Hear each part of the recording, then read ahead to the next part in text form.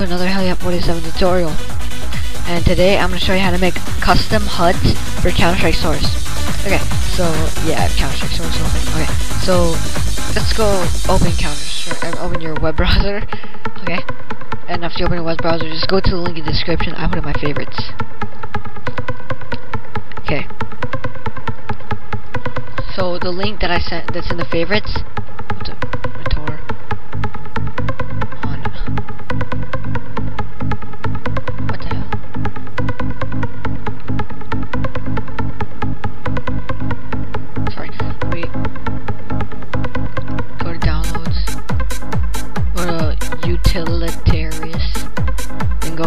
impact HUD impact S S S CSS HUD tweaker. And you click save, but yeah, I don't want to save it. I already have it. So close your browser. Then after you install it and everything, you will get this.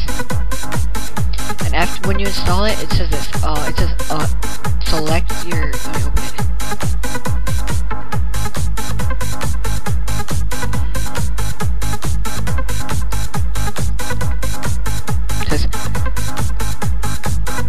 Looks like this, okay?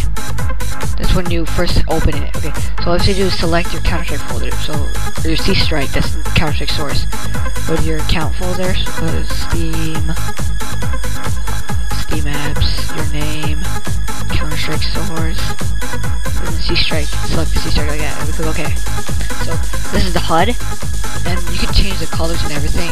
So, you just drag the bar on top, that's the bar for the, when you're defusing a bomb. Then I, that's how I put my like times on top. Okay. And then this is the radar size. This is the radar. You you can move anything you want. You just move it across like that. You change the font, but I don't want to do that. You can move these. Um, here, so I all have to do is drag it. Okay. So after you're done designing it and stuff, all you do click apply the CSS. Okay.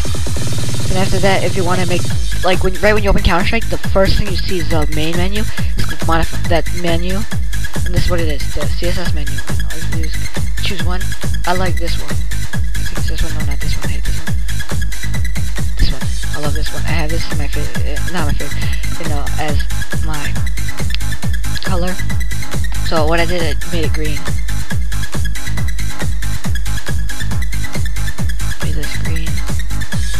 That green. Yeah, like that. So, thank you, and join my forums and subscribe.